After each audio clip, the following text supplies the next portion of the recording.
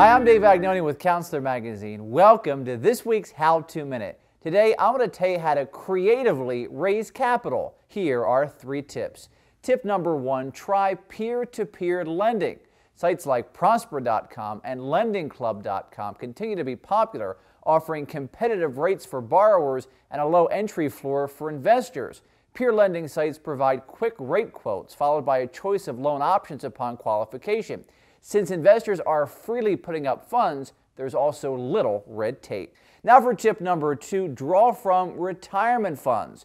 This should never be your first option, experts say, but it's still a realistic possibility that does not include withdrawal penalties. In the last 30 years, 10,000 businesses have gotten financing through 401k and IRA funding, and get this, never has the IRS disqualified a plan. A few firms specialize in this kind of capital maneuvering, the most well-known of which is Philadelphia-based Benetrends. Finally, there's tip number three, borrow against a life insurance policy. With this option, there are clear pros and cons. First, the good news, if you withdraw money from the cash value as a loan, those funds cannot be taxed as long as the policy is current. But now the downside, the interest amount and the borrowing balance will be subtracted from the death benefit if you never do repay the loan.